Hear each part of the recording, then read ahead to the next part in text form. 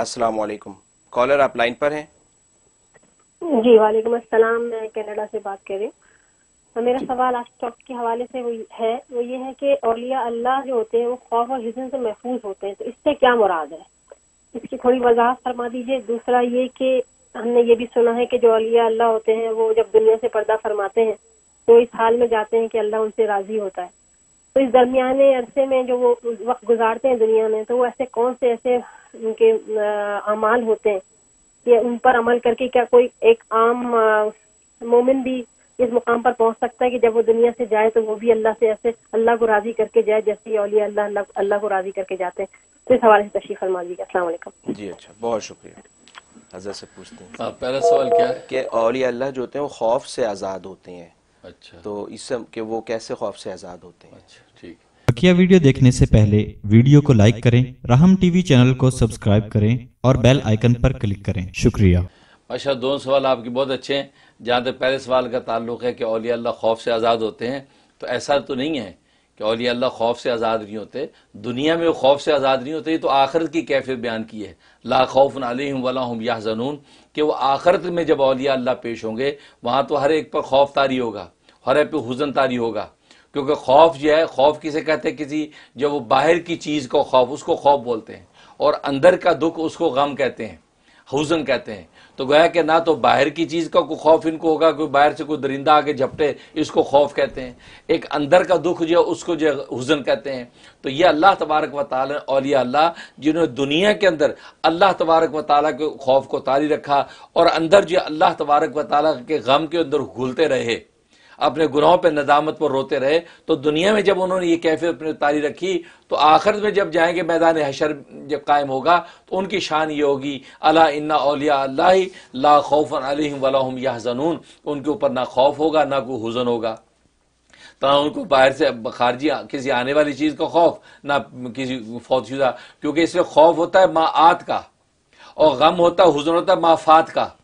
مات کا مطلب یہ ہے کہ خوف ہے، آنے آمدہ کو مصیبت، آنے والی کو مصیبت ہے، اس کا خوف، اس کو خوف کہتے ہیں۔ اور یہ وہ مافات جو گزر چکا ہے، اس کا غم ہوتا ہے حزن ہوا کرتا ہے۔ تو اولیاء اللہ جب اللہ کے ہاں پہنچیں گے، تو وہاں ان پر دونوں کیفیت نہیں ہوگی۔ نہ ان کو آت کا کوئی خوف ہوگا، کیونکہ اللہ سے ان کے تعلقات استوار ہوں گے۔ لہٰذا ڈر ہی نہیں کہ کوئی عذاب الہی ہم پہ آئے گا یا اللہ کا اتاب ٹوٹے گا۔ اور نہ ان کے اوپر حزن ہوگا، نہ مافات کا یعنی دنیا کے اندر کوئی ایسا کوئی حرکت کر بیٹھے ہوں کہ جو وہاں پکڑ کا اندیشہ ہو تو مافات کا بھی کوئی حزن نہیں ہوگا۔ اس لیے اللہ نے ان کی آخرت کی شان بیان کی ہے۔ لیکن دنیا کے اندر ان پر خوف اور یہ حزن تاری ہوتا ہے۔ اسی خوف حزن ہی کے بدل میں تو آخر میں بے خوف ہوں گے۔ اس کو کہتا دنیا تو آخرت کا بدل ہے۔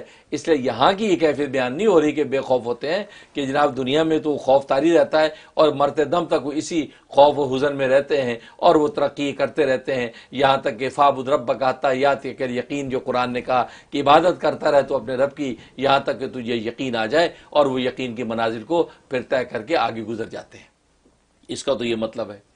اور دوسرا سوال کیا یہ کہہ رہی ہیں کہ بزرگ جو ہوتے ہیں اولیاء اللہ جب وہ دنیا سے جاتے ہیں تو ایسے جاتے ہیں اس حالت میں کہ اللہ ان سے راضی ہوتا ہے۔ تو ہم کیسے یہ کریں کہ ہم سے بھی اللہ راضی ہو جائے اس وقت؟ بڑا اچھا پوائنٹ اٹھایا۔ اس تمام تفصیل کا خلاصہ تو ایک لفظ ہے وہ اپنے آپ کو مٹانا ہے۔ بس۔ تزکیے کی حقیقت اپنے آپ کو مٹانا ہے۔ مٹنے سے پہلے جس نے مٹا لیا وہ اس حال میں جائے گا کہ اللہ اس سے راضی ہے۔ سبحان اللہ۔ پورے تزکیے کی محنت یہ اپنے آپ کو مٹانا ہے۔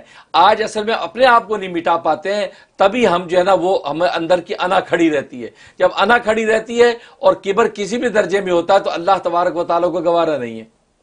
اور لا الہ الا اللہ کی جو ضربیں ہیں، یہ نفی اس بات کی ضربیں پھر نفی کی بھی نفی جو کی جاتی ہے، تو یہ بس اپنے آپ کو مٹانا ہے۔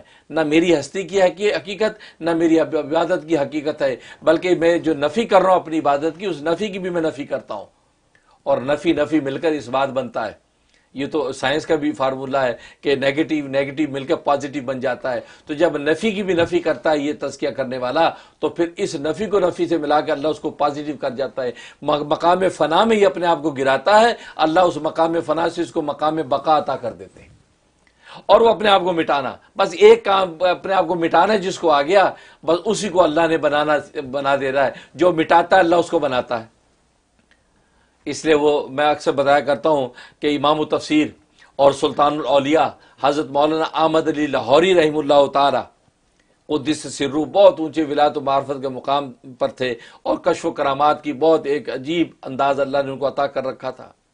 ان کے ایک بہت ہی قریبی صحبت یافتہ حاجی علی احمد، حاجی علی احمد صاحب مرحوم، رحمۃ اللہ علیہ ان کا جو ہے پاکستان میں میری مسجد میں آنا جانا تھا، ان کی مہمان نوازی کا مجھے موقع ملتا تھا۔ ایک عجیب مغروب الحال جو وہ بزرگ تھے۔ ان سے مجھے بڑا فیض، ان کی بڑی دعائیں لگیں۔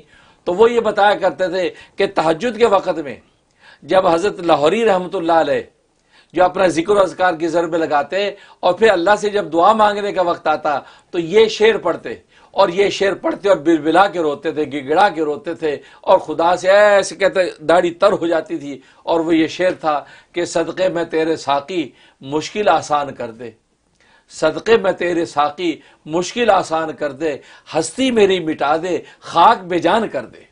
آمین۔ اللہ اکبر۔ میں تو یہ جب بھی یہ شعر پڑھتا ہوں بس اندر کیفیت بدل جاتی ہے۔